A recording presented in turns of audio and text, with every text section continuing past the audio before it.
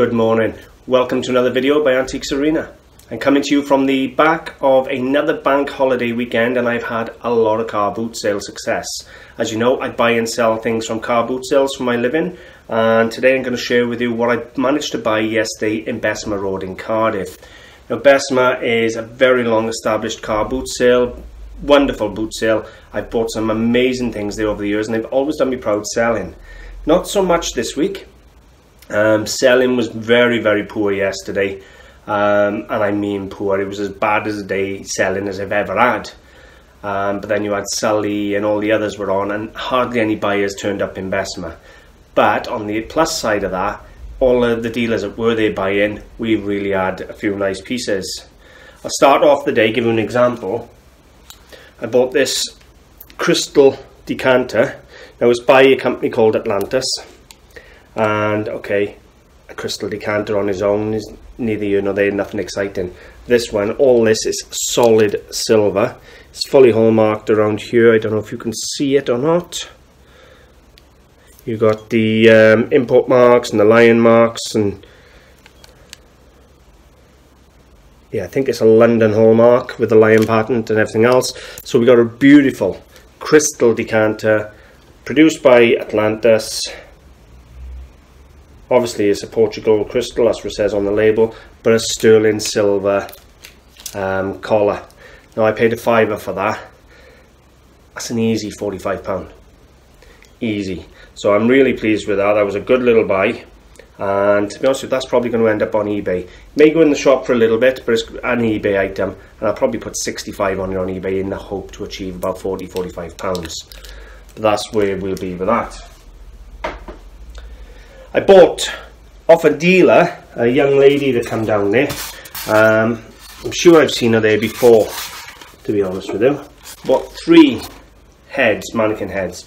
One female, and then we have two that are male. So, okay, why have I bought them? I bought them to use in my shop as display purposes. Now, I have hats regularly, and a hat like that just sat on a shelf looks nothing at all. You put that hat on this mean looking mannequin and all of a sudden it's starting to look something.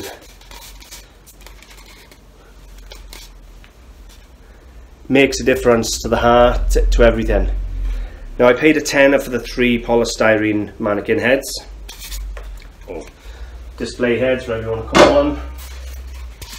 They're nice and I love the facial expressions and it's nice to have males. They're always female that I see. So to have two male, which will display all my military hats really well, and to be honest, I'll buy more if I see them. Pretty much three pound each, or three pound thirty-three each, if you like. Um, that's not bad at all. I was over the moon. I didn't knock her down. I give her the ten pound she asked for. I thought they were worth every penny.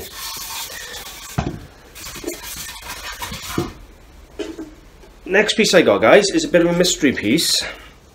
Now this was on the stall and a couple of people stopped and looked at it and they were thinking, well, what is it? Now personally, I think it's a money box for like a bus conductor or something to put the money in because it's, it's scooped. Not like the old um, where you used to get your change out of the bus and then it'd be scooped up for you to just scoop your change up type thing. That's what I'm thinking. A couple of people have said mining.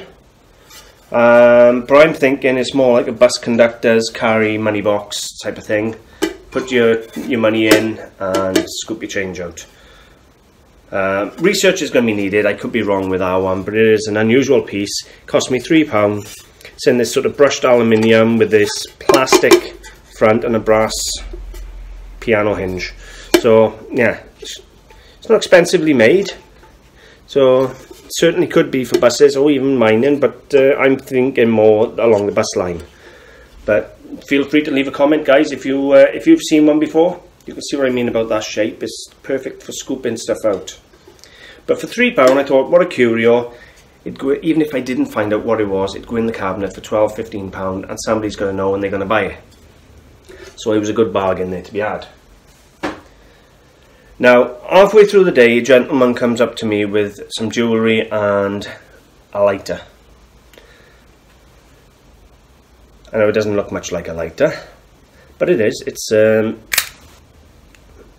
Now it's missing its top plate. It would have had a finishing plate here. Um, however, it is a proper Dunhill lighter.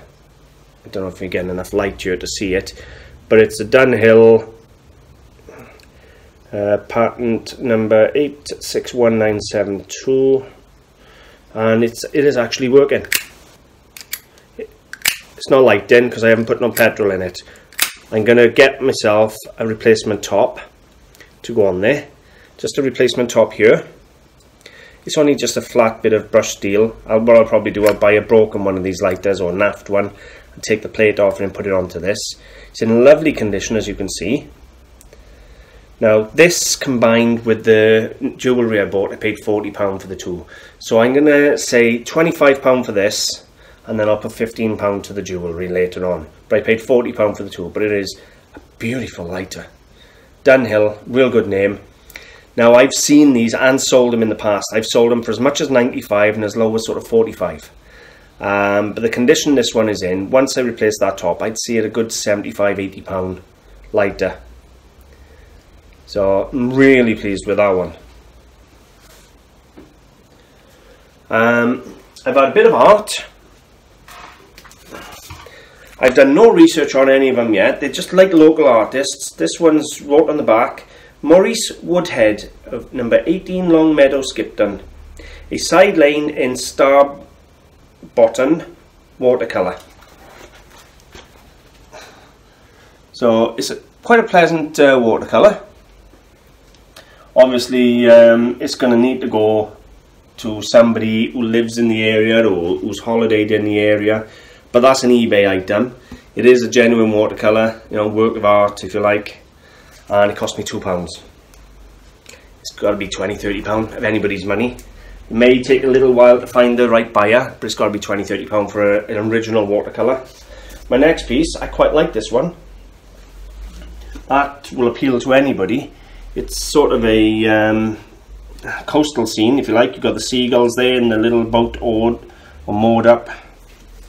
On this one, uh, the title is The Mooring, and the medium is the pastel, so it's done in pastels, and the artist is George Ford.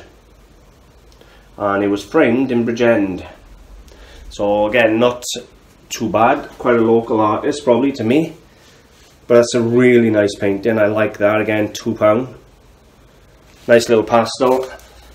That one I'll probably try in the shop for a little bit, but then end up on eBay. And what we got here. It's the first real proper look I've added them because I just buy them, chuck them in a car, drive home and load into the shop ready for today. Now this one's a nice big splash of colour. It's not the best painting in the world, but it is a real nice, almost abstract bowl of flowers. Love the colours. Signed painting again. Uh, nothing on the back of this one. I can't make out the signature in a minute, but it's an oil on board. Yeah, oil on board, and there's the signature. I'll have to do some research into that. But again, it was two quid, guys. I weren't going to leave a painting like that for two quid. There's quite a bit of skill involved in painting to that level. It looks a bit chucked together, but it's not. It's actually quite nice. And if you just want to splash a colour on your wall, you know, for two quid, that was a steal. So again, that'll go out probably 20, 30 pounds, unless they find out the artist is somebody good. Um, I got jewellery and coins to show you. One of my star buys for the day was this. Take a look at this. There we go, guys. We have, I know I don't do much by way of furniture, but I couldn't leave it there. It's a really nice Ercol mid-century rocking chair. And the best part about it is, as with anything, if you have the original label, it improves the value. And there we have the original label.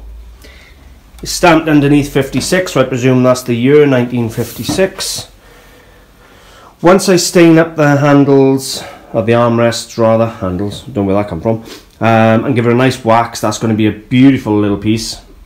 And it cost me £20 yesterday off a dealer I know. He's a regular. He bought it for someone else and they didn't turn up for it. So I got to have it and it is a really nice rocking chair. but I see that going in the shop here anywhere between 75 and 100 pounds once it's all waxed up and finished nice. So I'm really pleased with that. Okay guys, as you know, I don't get a lot of jewellery as a rule from um, Bessemer because there's so many people after it. But I did manage to get these pieces yesterday. I got these pair of earrings and they are absolutely gorgeous. I'm not 100% what the red stone is yet. Might be a bit of coral or something, I don't know. I'm going to have to do some research. Um, fortunately, I'll just search online for the company. Now, she had the receipts there, but she wouldn't give them to me because the name and address was on them. She paid £65 for that pair of earrings. I know, shocking or what, but they are beautiful. Really nice. They're in sterling silver, but I don't know what this is yet, but we're going to find out. And off the same lady, I bought this beautiful ring. Look at the colours in that ring. And we have a sterling silver ring there. Now I paid her for the ring and the earrings. I paid her £12. As you can see, that's probably a £25 ring, and they are probably going to be £25, £30 for the earrings. And she's never put them on. Um, moving on then, we this is the piece that came in with the uh, Dunhill light and it's a beautiful brooch, sterling silver. Um, you got a nice slice of agate down here. I'm assuming it's agate, I'm not 100% with my stones. Fully stamped up on the back and it's just a nice brooch. Really nice bit of work gone into that. And that's got to be a 35 40 pound piece no problem at all um, so for 15 I've allocated to that that's a really good buy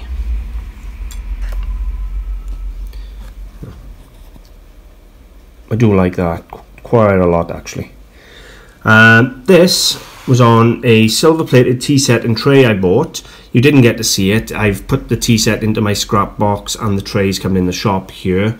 But I bought it purely for this solid silver pendant and chain. Um, this was wrapped around the handle of the tea set. So I didn't say anything. I just said, how much is your tea service, please? And they told me a fiver. There's more than a fiver in scrap value in the tea set. So this really comes in for free. Um, and then I got the tray, which I'll sell for 10 or 15 pounds. And this, you have loop or hoop earrings and two set of studs, and that is all in white gold. That's not silver, that's white gold.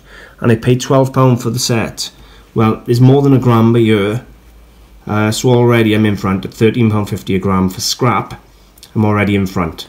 Then I've got them two pairs, but I'm not melting it. That's a really nice set, good make, and that'll probably go out for about £35, £40 for the set. So that's my jewellery haul, guys, from Bessemer. I'm going to show you the coin haul next. Okay, that was um, how it came to me. It was a box full of coins, just mixed coins, and I paid £10. Um, it came from the same lady as I had the white gold. Now, while I was at the car boot sale selling, I went through it quickly, and these are the ones I filtered out. I got to go through it again to make sure there's no others um, actually still in there of any worth or value. So you got little late 18th century cartwheel penny. Well, this one broke my heart. You got a George III half crown. And it's in lovely condition, 1811. And look at that. They've put a bloody bend in it, buckled it. And it's not an accident, if you ask me, because every single silver coin they've buckled. All of them. Somebody has done it on purpose to destroy the coins. Um, there's other coins in here as well. It's not all just about the silver. Um, I did pick up few nice ones already. That one's 1835. And you've got an anna, or quarter anna.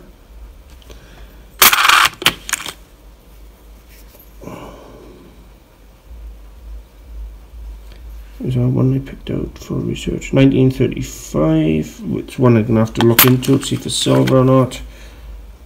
There's one or two in there that I'm not 100% on. Um, these 20 pences were really unusual. Have a look at these. If you like your modern coinage. 2004 20 pence piece. That is the um, Darwin monkey, I think. I'll look at that one again. And you got a set of keys. I haven't had these 20 pences before. One's 2006, one's 2004. Gibraltar and Gibraltar. So I know I've got a buyer for those straight away. So all in all, that's the um, group of coins. There's a good little mix in there. Know, there's quite a bit of silver there too. And these are the coins I feel that I can sell. I'm going to try and straighten these out rather than hammering them. I'm going to put them in a vise and press them very gently and try and flatten them. Still going to be marked, but for an 1811 or 1817 rather, half crown, the condition of it is really nice, so I'm going to try and save it. And same with all these others, they should be easier because they're thinner. So, but yeah, they're all early, early dates, and they've, they've destroyed them all. And that is just senseless act of violence. No need of that, vandalism. And then obviously we got all these coins in here. I'm going to go through them all tidy then, make sure there's nothing decent in there. And then whatever's left will get tipped in a tub I've got up for sale in the shop already. And they'll get added in. So there's um, there's quite a bit in here still, so for a tenner I was over the moon. There's got to be 20 quid's worth of scrap value in silver in there. Right, I've got a few more pieces to show you before we call it. Now, here's another tea set I bought.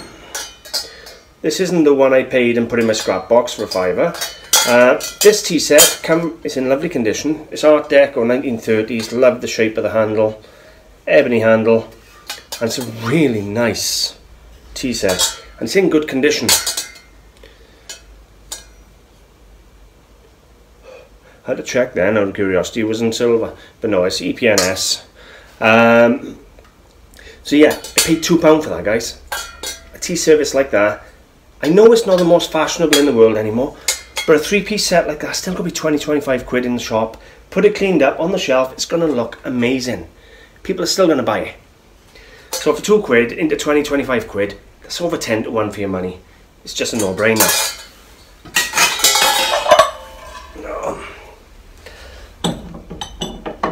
Again, another two pound buy was this um, Chinese pattern. I'm not sure of the exact pattern. Certainly Chinese influence. Um, you got a meat plate, ivory. Oh, on, what we got here? So I think it's Canton pattern. That's what's wrote on it. I'll show you in a minute and it's not in the normal blue and white this is um, black and white or I think it's sepia it's called I think um, but a nice large Victorian meat plate you got an impress mark of ivory year. Date letter no. Or mold number 91 I think that's the date 1891 maybe. And then down by here we have the maker's mark. Let's have a look here. I hate these springs because they break the bloody plates.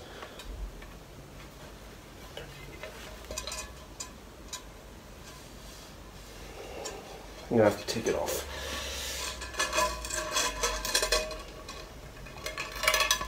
Right then. H&A, the pattern is Canton, maker's mark is H&A. So easy easy find that'll be. Um, so it's going to be before 1891 because there's no England or nothing else on there. And it became law to stamp the country of origin, I think it was 1891. So it's going to be earlier than that, even though it's got a 91 stamped on it. Don't want to leave that off. Just in it. There you go. Plate way gone. Just a nice large Canton pattern meat plate, 19th century, for two pounds. It's a steal. It's got to be 25 or 30 pound again. That's a really decorative piece of pottery. And let me see. While I'm here, I just want to show you the silver plate tray I've saved. The tea service has been scrapped, uh, but was a good, heavy, really heavy one, but it was all broken up. But this is the tray I've saved. Really nice, um, I feel like arts and crafts design. It's got this sort of oak leaf all the way around it. Any marks? Yep. We have, I can't read the mark without an eyeglass, but we have a shield here which will be the maker's mark. I don't know if you can see it. So I'll do some research on that later on when I get time before I sell it. And I'll find out who that is. I'll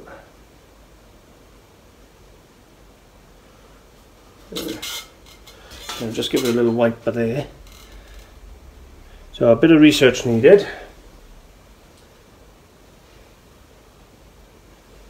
I'm assuming it's silver plate. Doubt very much at this weight because you're talking about four kilos per day. There's no way that's going to be silver. But uh, we will. Oh, we got something else stamped on here on the handle. France. So it's, it's got France stamped by there, along with some other impressed marks. Definitely need an eyeglass. I can't see tidy. So I'm going to look up the French hallmarking system just to make sure and the French plate and date it. But we have a really nice French silver plate tray. And again, owes me nothing because I've already weighed in the tea service um, and it was brass tea set, tea set. Didn't belong to this anyway, but it was heavy. It was a good two or three kilos. Uh, so this is free and I see this cleaned up RB as plate. 25 30 pound again no problem at all. Nice little serving tray. And the fact is French might even end up on eBay for a bit more. So guys that's my um, day's buying at uh, Best I've had a few other odds and ends that are not worth uh, putting into the video. Uh, so hopefully you've enjoyed having a little look. As you can see I always buy a really good mix of items um, to be honest with you, you never know what's going in the video from one day to the next. There are some constants, as in I always buy glass, I always buy coins, I always buy jewellery and gold and silver things. But other than that, anybody's guess is what I turn up with. So I really hope you've enjoyed. If you have, subscribe guys for future videos. Thanks for watching and bye for now.